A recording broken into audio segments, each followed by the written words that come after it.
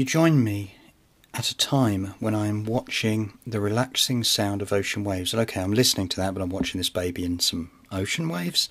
But what I'm trying to do is work through the different way I can add this particular video to a playlist I've already got. And I'll show you what I mean. That is one way. I'm not going to do it because I can tell you why.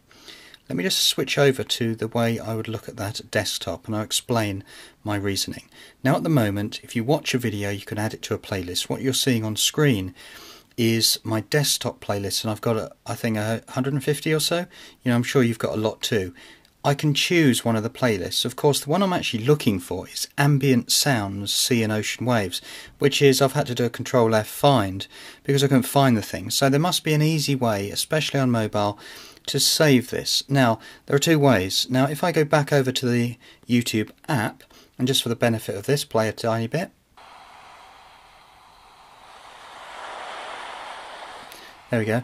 So some relaxing waves. What I'm getting at is if I tip or tap the top, tip tap top, then I can go through. Now I could add it to watch later and then move it to the ambient. That's my problem to deal with, not yours. I could, and I suggest I might, create a new playlist called Quick Mobile and just call it that. And I'll tell you why I, I want to call it that is because watch this very carefully. Right, bottom right midway it says save with a little plus. So I would think that if I hit save, I'll get the same options as above. Sorry, as above. How wrong I am. So watch this carefully. If I hit it tap, it just says it's done it and it's saved. Huh? So if I say see list, what it's actually done, oh no that's not right, let's go back.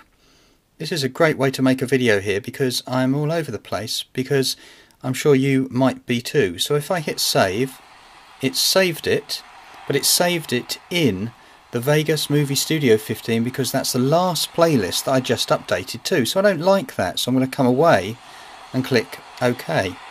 Then I'm going to pause and I'm going to say to myself, hold on a second, what am I going to do? What's the best way to do it? Now what you can do is click and long tap. If you click and long tap or hold down, one, two, it opens up without adding the video to anything.